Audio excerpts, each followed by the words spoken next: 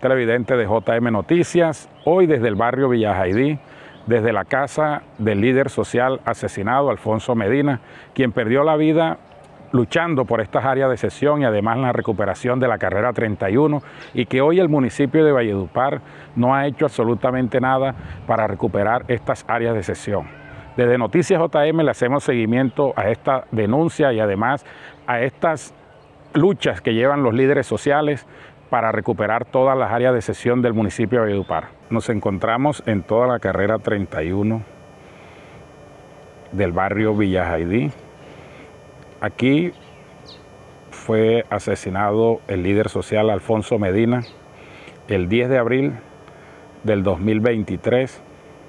y que hasta hoy no hay ninguna respuesta positiva acerca del asesinato del líder social, no hay captura, no hay investigaciones que den con el paradero de los responsables y por esta pelea de estas tierras están invadidas todavía y que el municipio no ha hecho absolutamente nada para recuperar esta calle, esta carrera y que hoy la vida de Alfonso Medina no ha valido absolutamente nada. Bueno, mi nombre es Mayerly Camelo Oñate, presidente de la Junta de Acción Comunal de aquí del barrio Chiriquí. Nosotros venimos denunciando esta problemática que se nos está, presentando. Como pueden ver, esta calle la están asignando por un callejón donde no va la calle y la calle correcta es esta porque está inscrita en tanto en planeación como en todas las entidades de INDER, que es la que resguarda la cancha de tierra que tenemos allá atrás. Esa, esa cancha hace un mes y pico vino el señor Richard Arzuaga y nos dijo de que prácticamente atrás de la cancha de tierra se asignaba una calle que iba a empalmar con la calle 74, como pueden ver, la que va dando a Villajaidí que es la calle que el compañero Alfonso Medina siempre ha venido luchando porque esa calle no se perdiera, porque estos predios no se perdieran, porque prácticamente sí son del municipio. Ya están plasmados en un plan eh, urbanístico, en un plan territorial, en el plano de, planeación del municipio de Valledupar y vemos con mucha tristeza de que a pesar de la muerte de nuestro compañero Alfonso Medina no han recuperado las áreas de sesión ni tan, y van a dejar perder la calle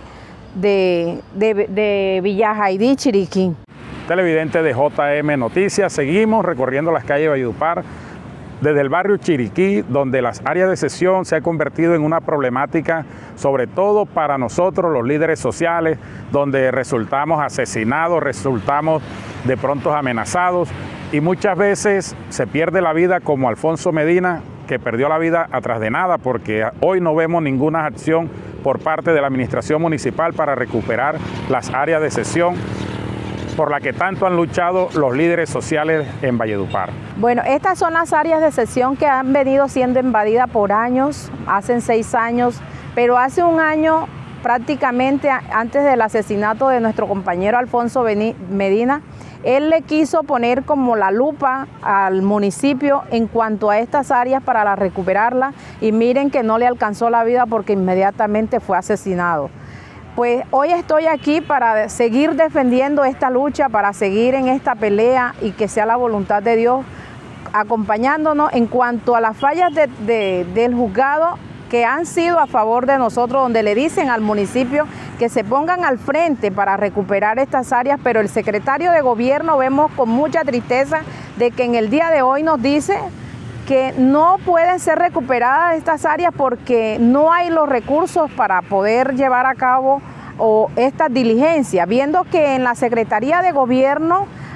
municipal, ellos son los que le competen porque prácticamente estas áreas son del municipio. La Secretaría General en cabeza del secretario eh, lo que manifiesta es que para ellos poder llevar a cabo esta diligencia tendrían que ser una cuantía de 500 millones de pesos, donde nosotros sabemos que no es verdad, porque para llevar esta, esta diligencia solo requiere tener eh, la, maquinaria en cuanto para eh,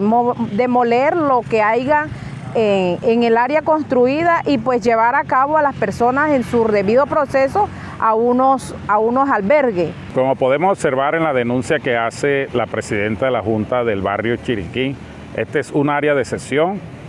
en el cual el municipio le compete hacer la recuperación de toda esta área, a lo cual se han negado las administraciones municipales porque no cuentan con los recursos para hacer demolición y recuperar todas las áreas de sesión. Entonces no entendemos cuál es la diligencia que está haciendo la doctora Laura Garrido, porque dice que va a recuperar las áreas de sesión, pero la respuesta que da el secretario de gobierno es que no tienen los recursos para hacer las demoliciones ni cuentan con el personal adecuado para hacer estas recuperaciones. Para Noticias JM, César Ahumada.